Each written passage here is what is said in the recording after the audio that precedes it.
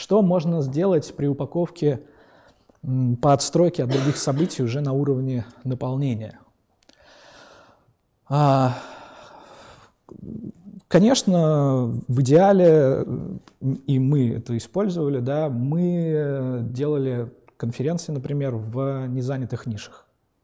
То есть, когда вы приходите в любую тематику, есть места, где ни разу не проводилось никогда никакого события. Тогда есть отличный шанс э, войти в нишу и э, просто ее занять. Собственно, мы так сделали с конференцией Суровый Питерский SMM. Тогда не было конференции по SMM, точнее, они были, но были до нас там, года три или четыре назад. То есть рынок опустел, я не знаю, почему там люди перестали их проводить, но как бы никто не делал. И так как у нас еще были компетенции в этом огромные, мы пошли и сделали. Э, незанятая ниша. И сейчас войти уже, например, в нишу э, конференции по SMM будет очень сложно. То есть сейчас их уже много, многие пытаются, и в Москве, и в Питере, и где только не делается, но э, есть предел, то есть все равно как бы там суровый питерский SMM перевешивает очень многие. Не только потому, что мы там сделали клевую конфу, но еще потому, что мы были первые. Это тоже важно. А Video Days э, — это конференция по видеомаркетингу. Э, тоже ниша не занятая практически э, была, когда мы ее сделали в первый раз. Видео только начиналось на тренд только такой начинал. Это сейчас уже все пошли на YouTube, сейчас все заводят себе каналы, идет там глобальный рассвет всего этого дела, но как бы тогда этого не было. Соответственно, мы просто заняли то, чего было пустовало. И во многих э, нишах такое есть. Потом э, еще один из таких хороших ходов – это повод ниши, как я это называю. То есть это мы берем широкую тематику и пытаемся ее нарезать. Э, что, например, ну вот мы сейчас делаем ветку онлайн-курсов. Помимо всех наших событий, у нас много их самых разных, но вот есть и онлайн. И в этом онлайн-курсе у нас есть большая, широкая тема SMM, да, где там огромное количество мероприятий проводится. Мы э, понимаем, что SMM — это не просто все ниши, да, а это э, много мелких ниш в самых разных тематиках. И мы запускаем SMM для недвижимости, SMM для ресторанов, SMM для медицины, SMM для свадеб, SMM для общепита и так далее. То есть мы берем одну большую широкую тематику и нарезаем ее. Таким образом мы отстраиваемся, потому что когда мы смотрели ветку а, событий, которые в нашей нише стали сейчас делать, практически нет вот таких нарезок. Мы их запустили, и мы уже как бы собрали два курса. Вот сейчас они там запуски идут, и они окупаются, и они приносят деньги, и все хорошо. То есть гипотеза сработала. То же самое, конференции по программированию. Вот у нас есть коллеги, я прям восхищаюсь, как они работают, тоже молодцы. Э, и они делают конференции в IT, э, конференции для программистов. Олег Бунин, Леша Федоров. И они э, делают как большие конференции для программирования, так и конференции по языкам. То есть они берут большую широкую нишу, языков программирования много, нарезают и делают более мелкие. То есть это хороший ход, нам тоже отстроиться.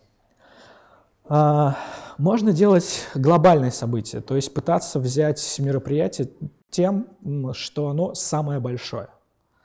Но это самый большой риск. То есть для того, чтобы собрать глобальное событие, в этом смысле, там, не знаю, какой-нибудь Synergy Global Forum, они, конечно, а, молодцы и упоролись очень сильно, чтобы собрать это, особенно в первый раз. Но э, реально то, что они сами рассказывали, они прошли там вообще все источники трафика, они вложили кучу денег, они прошли все тренинговые центры, запартнерились со всеми рассылками, с которыми могли запартнериться, э, запустили кучу рекламы и так далее. То есть это было многоканальное огромное продвижение, но они действительно сделали глобальный форум. То есть до синергии, по-моему, 6 тысяч человек на деловое событие, если даже, даже не в IT, а вот именно в бизнесе, почти никто не собирал. Я вот не помню. А уж 10 тысяч или там 12 тысяч, это вообще цифры такие а, нереальные для многих ниш. Вот. Ну, как бы риски есть, но можно попробовать сделать. А, я видел как бы отрицательные результаты, когда люди делают, там, не знаю, Global Event Forum, например, и они не могут собрать там столько же людей, сколько тот же сам солдат собирает. Но как бы а, бывает, что и получается. А, можно отстраиваться по гендеру, то есть реально ниша пока пустая, и я сейчас все вижу, все больше и больше событий, которые это делают. Есть женский форум Woman, кстати, у Синергии той же самой. Есть э, э, для мам конференции уже, есть для... Даже я, у нас парень выступал на солдате, у них там была конференция, по-моему, для беременных или что-то такое, короче. Ну, то есть э, берется гендер и на нем нишуется. Тут, кстати, почему-то все идут в женскую сторону, например, в мужскую сторону практически нет такой нарезки. То есть не, не, не делают люди там конференцию для мужчин, да, там, там Спарта, по-моему, только проект есть и все. А, а здесь там хорошее поле деятельности. Вот. Ну и, конечно, самое клевое — это новые форматы, которых не было в нише раньше. И здесь, на самом деле, большие э, возможности, я считаю. Э, то есть если брать конкретные примеры, э, ну вот, например, когда была конференция по SMM, у нас первая конференция по ней давно, еще до Сурового, там года за три, это была э, конференция СММ барбекю. И это была э, конференция на открытом воздухе, это был open air. То есть чистый фестивальный формат, но для делового события. Это была отстройка. И, кстати, это была отстройка удачная, то есть там они собрали тысячу человек, все было хорошо. Сейчас начинают делать антиконференции. Каждый, правда, вкладывает в этот формат свое, а, но уже делают конференции, где разбирают неудачные там кейсы, а наоборот провалы. И мы даже уже делали такие, такие треки у нас внутри на солдауте. Но это по факту тоже отстройка формата. Все привыкли приходить, выступать с докладами на тему, какие они клевые, но никто не выступает с докладом на тему, на как, какие они не клевые. Хотя ошибки разбирать это очень важно. И на этом тоже люди строят события. Никто, например, до сих пор не придумал ночное деловое событие. Хотя а, вот есть ночь кино, да, вот люди садятся и всю ночь смотрят кино. Но почему-то никто еще не догадался сделать э, то же самое, только с докладами открытая ниша. А фестиваль для бизнеса, опять-таки, ну вот это сейчас Наташа Таци делает. Там премия на лучший кейс. Если премии да, обычно за лучший кейс, я не видел ни одной такой премии, например, а можно было бы сделать. Вот, то есть, или там премия за худший кейс там, и так далее. То есть отстраиваться всегда где-то можно. У нас, например, в разработке несколько есть тоже идей, одну идею я прям не скажу, потому что она совсем новая и свежая. Но э, вот в это место я советую обратить внимание. На самом деле тут даже можно применить прием от обратного. То есть мы смотрим рынок и смотрим, что делают все. И после этого делаем наоборот. Ну, дум, разрабатываем концепт, когда можно сделать наоборот. Или перемешать. То есть все делают вот это, а давайте перенесем. Все делают просто фестивали развлекательные, а мы сделаем фестиваль для бизнеса и так далее. Э, новый формат, как минимум на первое мероприятие, всегда привлекает больше внимания. То есть тут уже вопрос второго и третьего, соберется или не соберется. Но в первый раз, когда ты делаешь мероприятие, и ниша тебя не знает, отстройка по формату может отлично сработать. Вот. Теперь, э, что можно сделать внутри события, э, чтобы тоже как-то отстраиваться?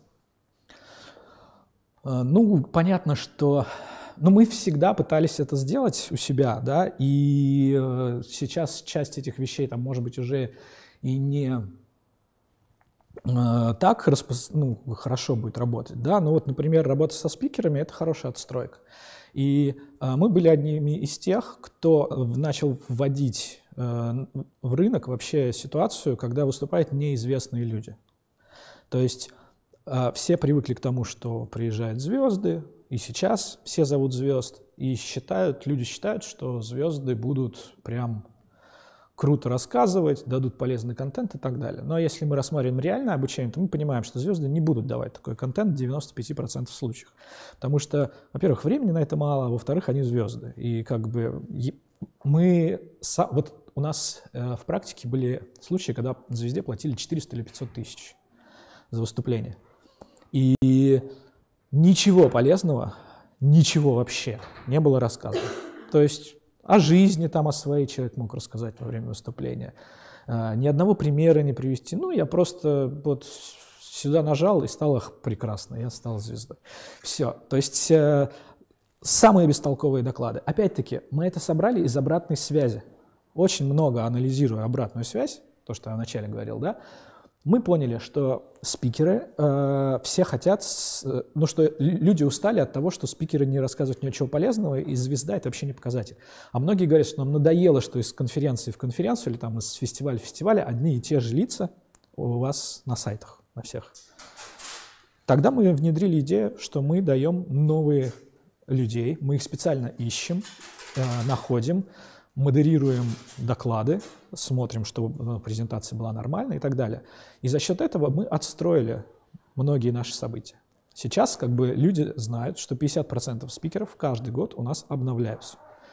И мы на самом деле вообще сейчас включили вот этот, это из-за этой ротации очень клево можно программу делать. То есть вот отстраиваться от других мероприятий на, на уровне программы а, хорошо, когда у тебя идет постоянный приток людей, которые могут тебе что-то дать. Да? А из-за того, что конференция проводится там уже четвертый, в пятый раз, все время идет поток новичков, которые хотят выступить и которые предлагают реально классный контент.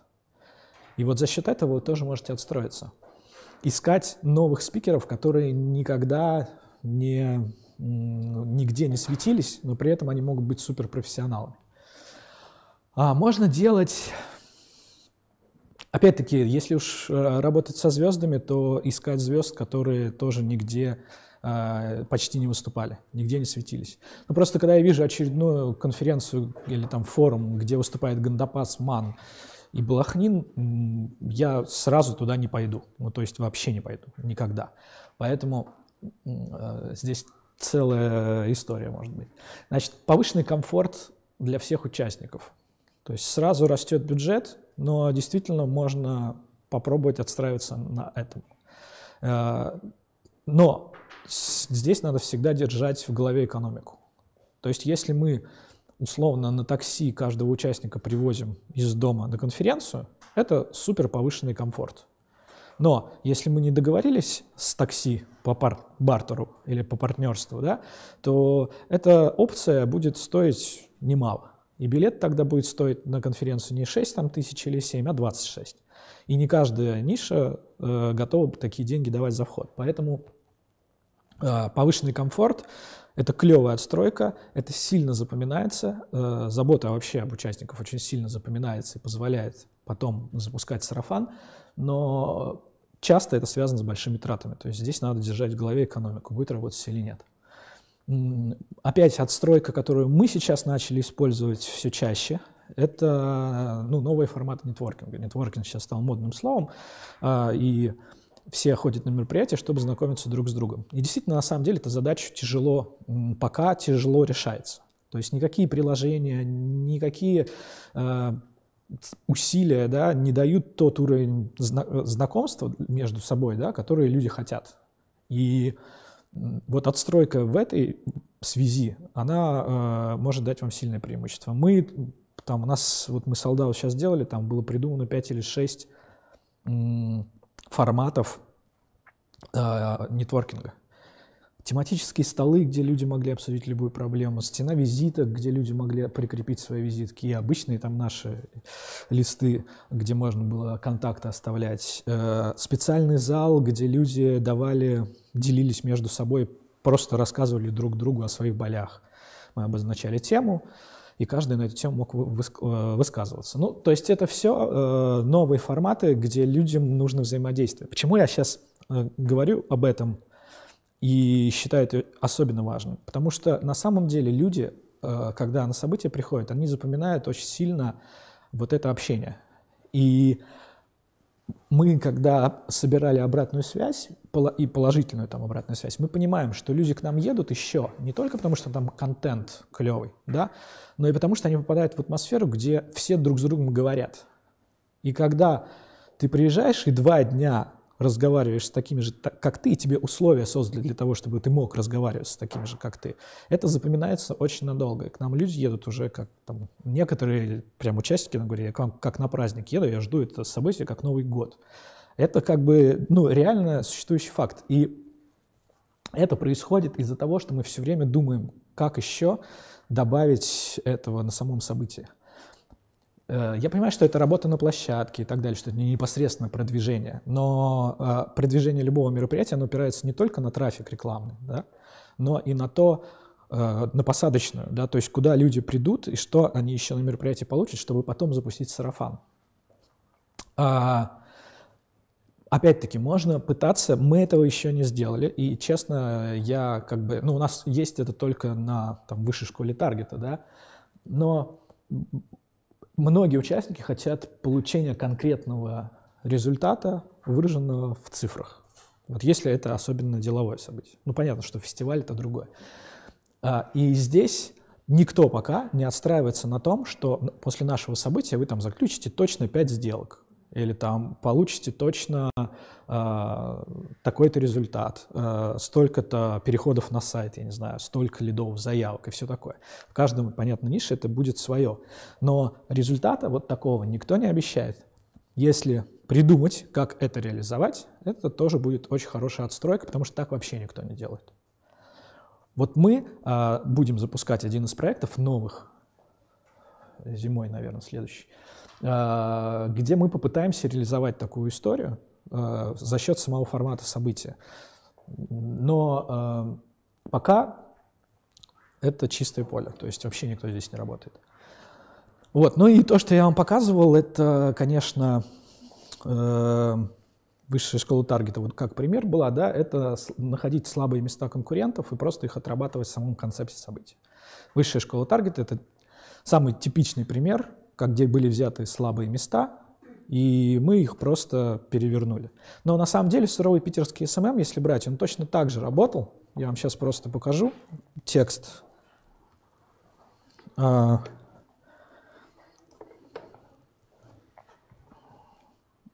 понятно, что первый текст там был немножко другой, да, но что мы, если внимательно посмотреть, да, вот на, это, на, на эти тезисы, да, вот здесь, что есть.